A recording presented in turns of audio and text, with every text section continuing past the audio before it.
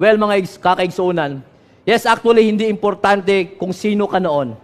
Hindi importante kung anong ginawa mo noon. Ano, ano, ano ang buhay mo noon. Ang importante talaga ay kung anong ginagawa mo ngayon bilang proof ng iyong faith. Mga naigsuon ko, ay ayaw pong imong kaugalingon na mabuhat og maayo tungod kay na kay bad na past. No, it's, it's not about your past. It's about kung unsay dapat mabuhat nimo karon, especially in this pandemic. Kung anong dapat mong magawa ngayon.